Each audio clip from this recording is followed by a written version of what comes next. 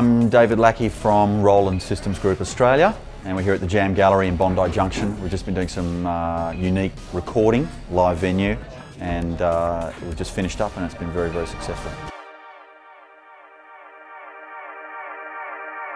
He was the leader of the pack and his boys would always hang back and wait for his cue, wait for his lead. We have uh, Roland V-mixing system, which uh, in this case it's slightly expanded. It's a M480 V-mixing console, which is a 48 channel console system.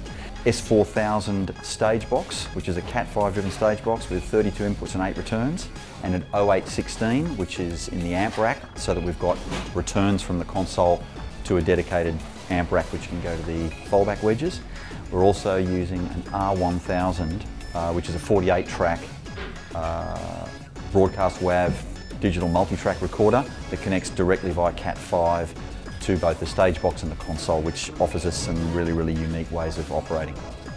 Being an underground venue in the middle of Bondi Junction, what are some of the unique sound challenges that this particular space uh, offers up and how is the Roland gear used to solve those challenges?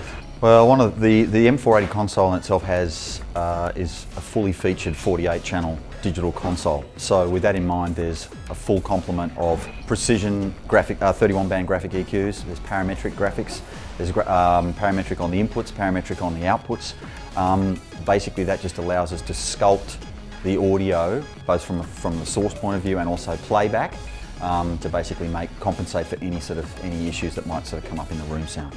Venues like this often have quite a few operators go through at a time. It's Correct. A, you know, a live venue. Yep. People bring their sound guys in. Yep. How are they going to know how to use that? Okay, the one of the, the, the, the real pluses of the Roland V-mixing system is absolute walk-up start ease of operation. Unlike a lot of other systems, uh, the V-mixing system, uh, if you're even slightly used to an analog console or any other digital console, You'll walk up to this and it'll make complete sense. So with just a few button pushes, you're never too far. It's not a menu driven system. There's dedicated switches and buttons for everything. So basically you just walk up and if you even have the smallest amount of background knowledge about audio mixing, you'll be able to get a sound out of our system. Okay, so today was very, very uh, a, a, unique thing. We were filming um, a live performance of band and uh, for another product of ours, the VR50, which is a vision mixer and uh, webcasting system. Um, we wanted to record the band, capture a live performance, which we can do into the R1000, but rather than having the band play through time over time over time to do the shots, uh, we wanted to capture one take and then be able to play that take back to the band so that they could mine. Normally in a system where you'd have to repatch that to get that working.